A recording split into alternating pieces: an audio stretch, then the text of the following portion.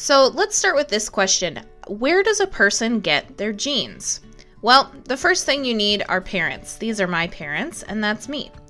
My mom produced an egg that contained 50% of her DNA, and she passed that along to me. And my dad made some sperm that has 50% of his DNA, and he when those two combine, that made me.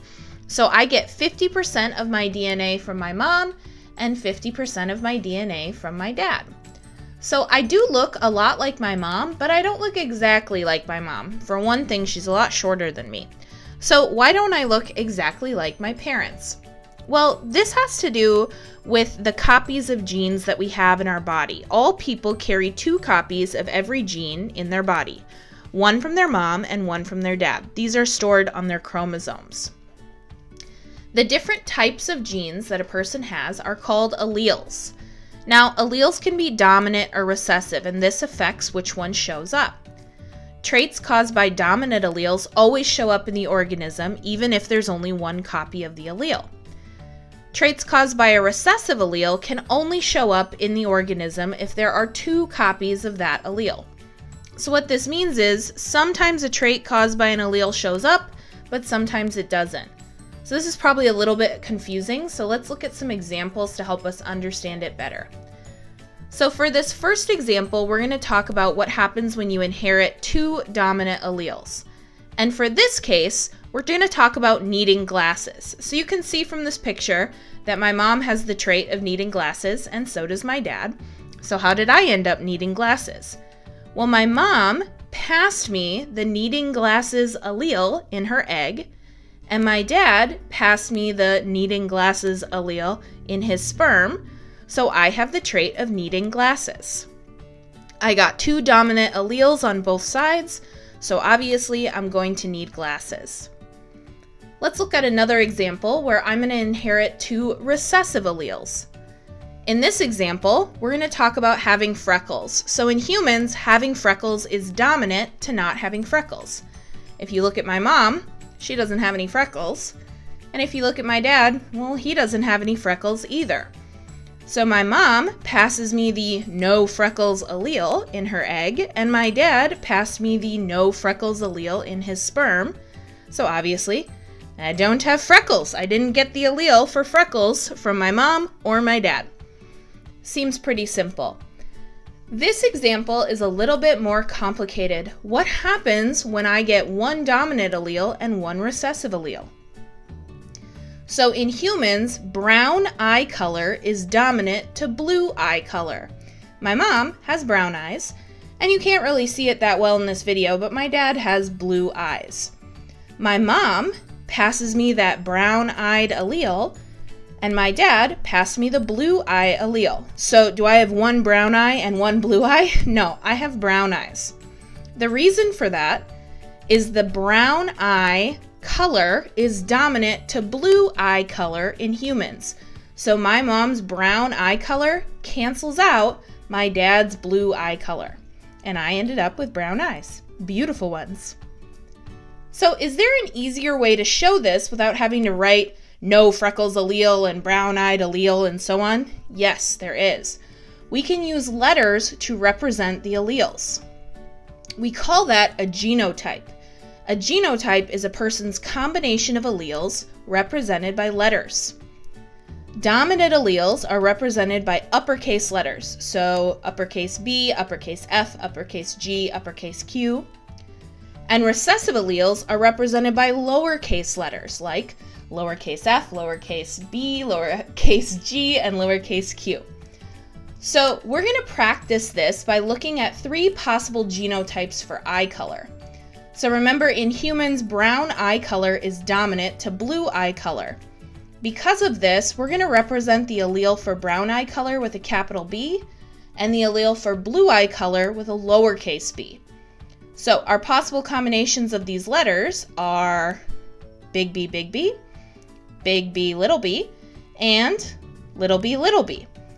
So if we have dominant traits, our big B's are going to give us brown eyes, our little b's are going to give us blue eyes, and big B, little b is going to give us, um, well, remember, only one dominant allele is needed for that allele's trait to show up in the organism.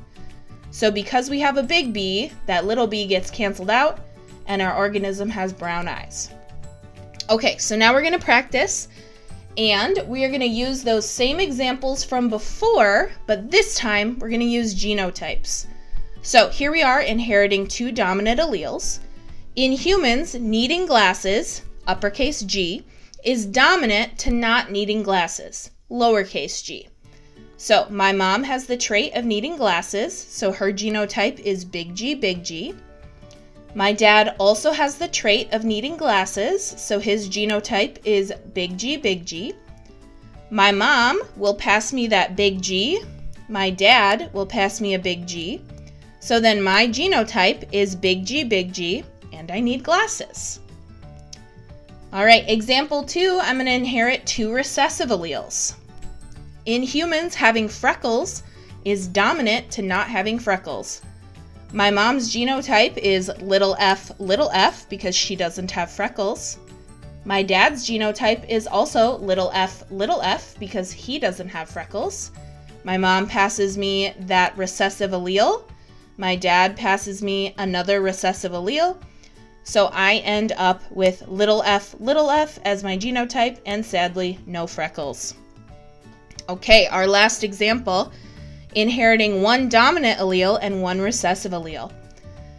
So remember in humans, eye color, um, or sorry, brown eyes uh, are dominant to blue eyes. So my mom has brown eyes, which means she has either big B, big B, or big B, little b as her genotype. My dad has blue eyes, so the only genotype that he can have is little b, little b. Now, even though we don't know which genotype my mom has, we know that she sent me a big B because my eyes are brown and they're not green. My dad passed me a little b, so my genotype must be big B, little b. All right, I don't know about you, but I'm really tired of saying big B, little b, and little b, little b, and so on. So is there another way to say this so I don't have to say big G or little f or whatever? Yes, there is. So you can use the terms purebred and hybrid. Here's how they're different. Purebred means you have two of the same alleles for a trait, either big B, big B, or little b, little b. This is also known as homozygous. Hybrid genotype is having two different alleles for a trait, so big B, little b. This is also known as heterozygous.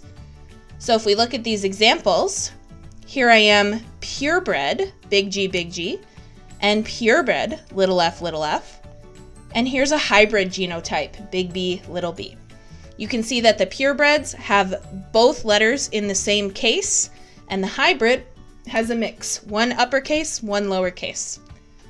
We can be even more specific and separate purebred into purebred dominant and purebred recessive. Purebred dominant is two capital letters, and purebred recessive is two lowercase letters. Remember, those uppercase letters are for dominant, lowercase letters are for recessive, and purebred just means that both the letters are the same case. So, what did we learn today? An organism inherits 50% of their genes from each parent in the form of a dominant or recessive allele. The trait an organism shows depends on what combination of alleles they receive from their parents. A genotype is the combination of alleles a person inherits described as two letters. An organism's genotype can be purebred dominant, purebred recessive, or hybrid. Thanks for watching and have a great day.